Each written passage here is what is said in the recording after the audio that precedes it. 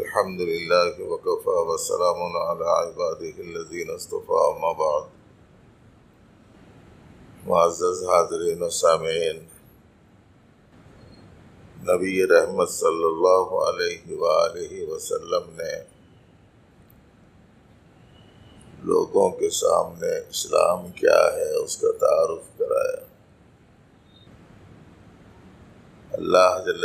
शाह बनाई हुई दुनिया और कायनात में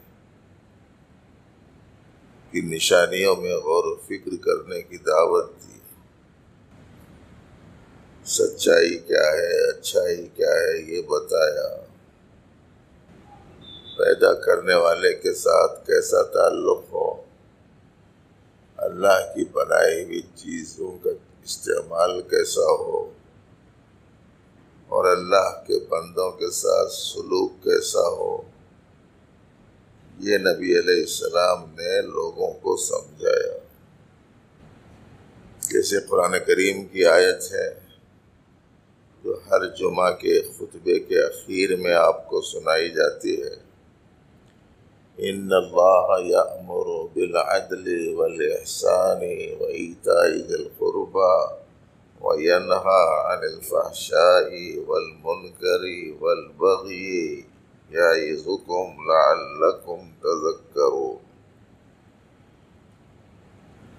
हर जुमा सुनने की वजह से ये आयत अक्सर साथियों को याद हो गई होगी बशर्ते कि वो सुनते हों कि क्या सुना रहे हैं अब जो सुनता ही नहीं उसे तो याद ज़ाहिर है कि नहीं होगी ये आयत या जो ये समझता है कि बस अब खड़े रहने का टाइम है, उसे याद नहीं होगी ये रब्बानी हिदायत का एक अजीम शान मजमु है। अल्लाह अदल का हुक्म देता है। अल्लाह एहसान का हुक्म देता है। अल्लाह रिश्तेदारों के साथ उनका हक देने का हुक्म देता है। और अल्लाह बेहयाई के कामों से रोकता है और अल्लाह नामनासिब चीज़ों से परहेज करने का हुक्म देता है और अल्लाह सरकशी से रोकता है। ये आकाम है। तो सिर्फ़ यही आयात बाज़ लोगों के सामने रखी गई तो लोगों ने इस्लाम कबूल कर लिया।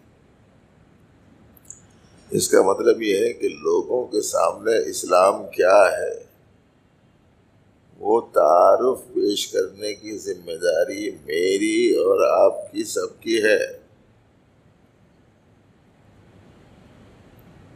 हमारे हिंदुस्तान की सरजमीन में अच्छाई को कबूल करने की अभी सलाहियत बाकी है। जिन लोगों के दिलों में ये जज्बा मौजूद हो कि सांप को दूध पिलाया जाए, आप उनके सामने इंसानियत का वो पैगाम जो नबी अलैहिस्सलाम ने दिया, उसने सलूक की वो तालीम जो नबी अलैहिस्सलाम ने दी और ख़ुद नबी रहमत सल्लल्लाहु अलैहि वसल्लम का तारफ़ अगर आपने उनके सामने पेश किया तो न सिर्फ़ ये कि वह सच्चाई को और अच्छाई को कबूल करेंगे, बल्कि अमूमी हैसियत से उन लोगों में इस्लाम के बारे में पाए जाने वाले नफ़रत वाले जज्बात को ख़त्म करने में मदद भी मिलेगी। ये जितने लोग इस्लाम के ख़िलाफ़, पैगंबर इस्लाम के ख़िलाफ़ अजवाज मतहरात के ख़िलाफ़ और खलफाए राशिदीन के ख़िलाफ़, कुरान मजीद के ख़िलाफ़ में जो कुछ बोलते हैं, उनमें से अक्सरियत वो होती है जो हकीकत से वाकिफ़ नहीं होती। बस लोग उकसाते हैं तो ये भड़क जाते हैं। बार बार किसी चीज़ को सुनाते हैं तो उसी का जहन उनका बन जाता है। ज़ाहिर है कि अगर कोई शख्स किसी मस्जिद के इमाम के बारे में ये कहे कि वो इमाम साहब अच्छे नहीं हैं, दूसरा भी कहे और वो भी कमेटी में के अफराद का कि वही इमाम साहब तो बहुत ही खराब है। मुसलियाँ अक्सर बोलते रहे, किसके पास आ जा रहे नमाज़ पढ़ने वहाँ, अरे उनके पीछे कह क्यों पढ़ रहे जी नमाज़ उन्होंने ऐसे है। पच्चीस, पचास आदमियों का सुन लिए तो इमाम साहब अच्छा नहीं है, बल्कि जहन बन जाता अस्सी साल से मुसलसल पुकार रहे हैं। दुश्मनान इस्लाम इस्लाम अच्छा नहीं है। और सैकड़ों साल से पीछे पड़े हुए हैं कि कुरान की तालीमत वो अमन के खिलाफ हैं। बोलते चले जा रहे हैं। दसियों, दहाइयों से बोल रहे हैं कि इस्लाम औरतों के ऊपर जुल्म करता है। और पैगंबर इस्लाम ने ये जंग की, वो जंग की, यहाँ जंग की, वहाँ जंग की, सुनाते रहते हैं लोग। एक दफ़ा सुना, दो दफ़ा सुना, तीन दफ़ा सुना, दस बार सुना, बीस से सुना, दस से सुना, बीस से सुना। जहन बन गया लोगों का, मुखालफतें शुरू हो गई। अब सवाल यह है कि हम लोगों ने इस्लाम का तारुफ पेश कितना किया है? अभी मैंने गैर मुस्लिम का, की तकरीर सुनी उसमें यह था कि मैं कई दफ़ा कुरान शरीफ पढ़ा, मैं ये समझा कि इसमें कत्ल की, किताल की आयात है।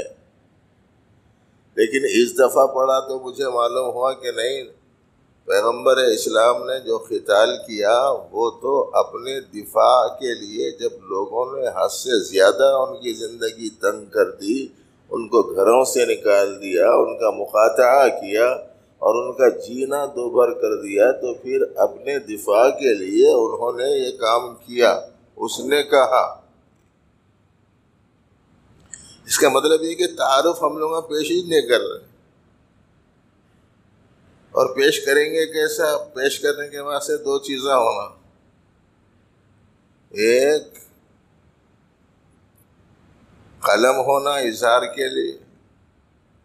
दूसरे जबान होना बोलने के लिए, बल्कि तीन चीज़ें चाहिए। एक कलम चाहिए कलम हमारे पास में है नहीं। इस वास्ते कि लिखना, पढ़ना ही छोड़ दिया हम लोग। पहले थोड़ा बहुत लिखते थे, जब तक कि वो टाइप वाइप नहीं आया था। अब तो लिखना भी छोड़ दिए। खाली बटन दबाने का काम है। लिखना छोड़ दिए। लिखेंगे कब जब जानेंगे। जानेंगे कब जब पढ़ेंगे। पढ़ना छोड़। तो लिखना, पढ़ना छोड़ दिए। हमारे मुसलमान बच्चों को दस दस साल बीस बीस साल से स्कूलों को भेज रहे हैं। उनको ये जुमा में सुनाते सो तकरीरा भी समझ में नहीं आ रहे। पैदा हुए मुस्लिम घराने में माँ बाप की जबान उर्दू है।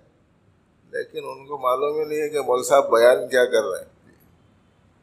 इस वास्ते कि पता नहीं दूसरी ज़बानों से इस कदर मोहब्बत बढ़ गई कि अपनी ज़बान भूल जाना ज़रूरी समझा शायद उन लोगों दूसरी ज़बान सीखना मना नहीं है, पूरी ज़बानें सीखो दुनिया की, ताकि इस्लाम का पैगाम पहुंचाओ, लेकिन अपनी ज़बान मत भूलो।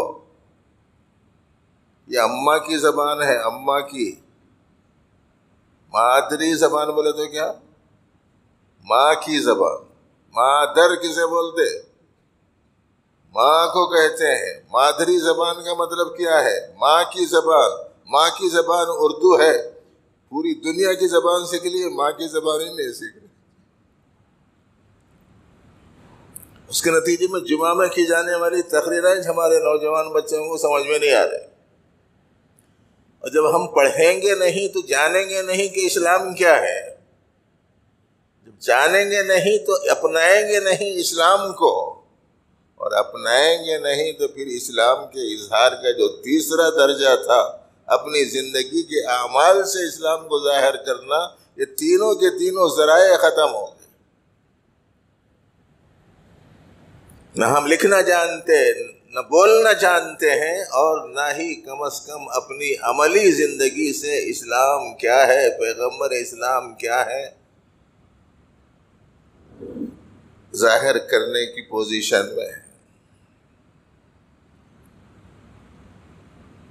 जिस वक्त में इस्लामी हुकूमतें कायम हुई थी तो एक दुश्मन को काबू में कर लिया, एक मुसलमान ने। लेकिन जब उसके ऊपर लोगों ने जुल्म करते हुए उसको कसा और मारना ही चाहा तो उसकी जान बचाई। दुश्मन ने पूछा, तुमने मेरी जान क्यों बचाई? तो उन्होंने कहा, मजलूम की मदद करना हमारे पैगंबर सलाम ने सिखाया। उसने कहा कि अजीब गरीब पैगंबर है तुम्हारे? तुम्हारा दीन बड़ा अजीब है। और मैंने तुमको इतना सताया, इतनी तकलीफ़ दी। कहने लगे कि मैं अगर मेरे सताए हुए होने की बुनियाद पर तुमको मारता तो मैं अपने दीन पर कायम न रहता। मुझे तो ये करना है, अपने अल्लाह को राज़ी करने अपने पैगंबर सलाम की इतात व इतबा में उसके ये तर्ज, उनके ये तर्ज अमल को देख कर वो कट्टर जाने दुश्मन मुसलमान हो गए मैंने ज़िंदगी पूरी लोगों के साथ लड़ाइयों में, झगड़ों में, जंगों में गुजारी और किसी को नहीं बख्शा। सैकड़ों लोगों का खून मैंने बहाया। पूरी ज़िंदगी हमेशा नफरत और अदावत की बुनियाद पर मेरी चल रही है। लेकिन ऐसा अच्छा और ऐसा बेहतर आदमी मैंने पाया नहीं कहीं। फिर उसने बाकायदा सीखा दीन को, जानना चाहा पैगंबर इस्लाम को, और अपना लिया सिद्क दिल से दीन को, और जाम शहादत भी नोश किया दीन पर। कब हुआ ये? जब इस्लाम क्या है, उसे मालूम हुआ। पैगंबर इस्लाम क्या है, उसको मालूम हुआ, तब उसने कबूल किया उसको। हम लोगों ने कब बताया, किसको बताया? पराए तो पराए हैं, हमने अपने बच्चों को भी नहीं बताया। अपने घर के अफराद को भी हमने नहीं बताया कि हमारे पैगंबर इस्लाम कौन है। हमने सोचा तो बस उनकी ज़िंदगी, दुनिया की राहत को, आराम को, ज़रूरियात की तकमील को, घर को, लिबास को, यानी उन चीज़ों को सोचा जो जिन चीज़ों को बहरहाल छोड़ना है। वो नहीं सोचा जो हमेशा के लिए आदमी को करा, काम देने वाली चीज़ है। वो दीन था, वो ईमान था, वो इस्लाम था, वो अल्लाह रसूल का तारुफ था। इसलिए भाइयों, दो काम करो एक तो ये कि और जबानों के साथ उर्दू जबान ज़रा अच्छा सीखो। बहुत बड़ा सरमाया है इस्लाम का उसमें। और अपनी मादरी जबान होने की वजह से आदि अपने को पहले से आती। अब आदि सीखना बाकी रह जाता। अरबी सीखने के लिए काफ़ी वक्त दरकार है। उसके ग्रामर्स हैं, उसके कवायद हैं। फिर अरबी लगत है, अरबी अदब है, ये सब कुछ सीखने के बाद में कहीं आपको अरबी समझ में आ सकती है। उसका सीखना भी चाहिए कि अफजल तरीन ज़बान है, वो रूए ज़मीन पर पाई जाने वाली, उसे भी सीखना चाहिए। लेकिन इस्लाम का बहुत बड़ा ज़ख़ीरा उर्दू और फ़ारसी में है। फ़ारसी भी इस वक्त में बहुत कम मुस्तमल है, उर्दू ज़्यादा है। एक तो उर्दू सीखो, अपने बच्चों को सिखाओ। बोले, नहीं साहब हमारे कॉलेजों में नहीं है, उर्दू मीडियम ही नहीं है। ठीक है, उर्दू मीडियम नहीं है तो सुबह में एक घंटा, शाम में एक घंटा उर्दू सीखो। एक मिसरा है गालिबन इकबाल का, जो हो ज़ौक़ यकीन पैदा तो कट जाती है जंजीर। कितने नौजवान समझेंगे कि इसमें क्या मजमून है? इसमें मजमून क्या है? कितने लोग समझेंगे? यकीन महकम अमल पे हम मोहब्बत फाते आलम। जिहाद जिंदगानी में ये मर्दों की है शमशीरें। कितने नौजवान स्कूल, कॉलेजों के बच्चे समझेंगे, क्या मतलब है इस उसको यकीन महकम क्या है, नहीं मालूम। अमल पे हम किसे कहते हैं, उसे पता नहीं।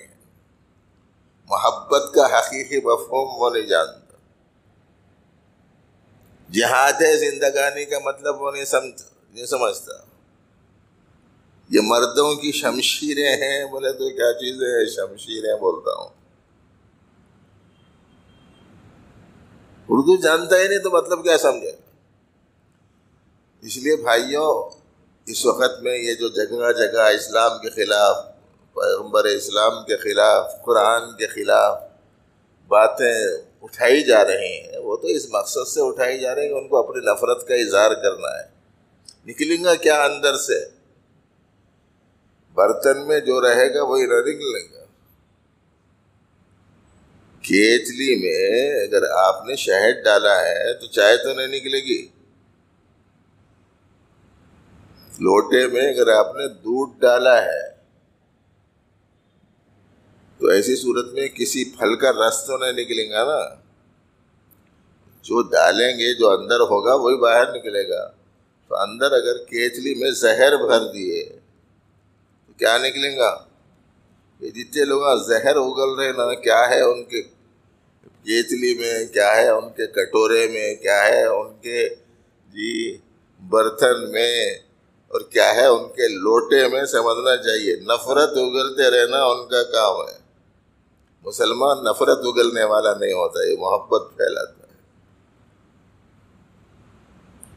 इसके मिजाज में उल्फत होती है, इसमें इसमें उन्स होता है, ये हमदर्द व खैर खा होता है। पैगंबर इस्लाम सलाम के रहमतुल्लामीन होने को समझाता है। हमने तारुफ नहीं कराया, इस वास्ते एक काम है, दीन जानना, उसके लिए उर्दू से भी अच्छी वाकफियत हासिल कीजिए। और दूसरा, अहम तरीन काम है जबान से, अमल से इस्लाम को ज़ाहिर करते हुए पैगंबर सलाम का तारुफ पेश करना। आज हर आदमी ये चाहता है लोग मेरे को पछानना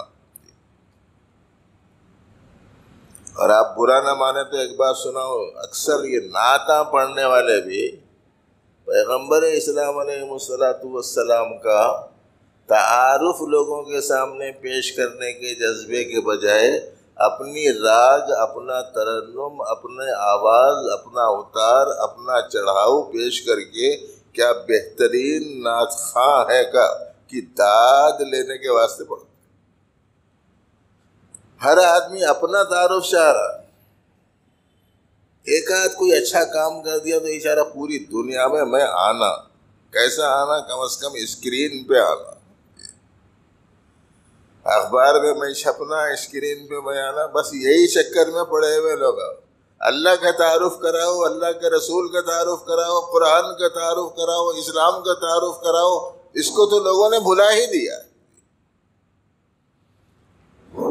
और आज इस किस्म के जो हालात हैं, उसका सबब ये आपके पास वो अच्छाई है कि आप पेश कीजिए। इन अज़ीज़, सख्त सख्त दिल भी मोम बन जाएँगे। बस मौके, इस मौके पर भाइयों, एक मुख्तसर सा पैगाम था जो आपकी खिदमत में, हालात के तनाजुर में रखा गया है। आप इसे ईजी मत लीजिए। अपने से इस्लाम का पैगंबर इस्लाम का अमली हैसियत से तारफ़ कराइए। अल्लाह रब्बुल आलमीन मुझे आपको इल्म सही अमल साल की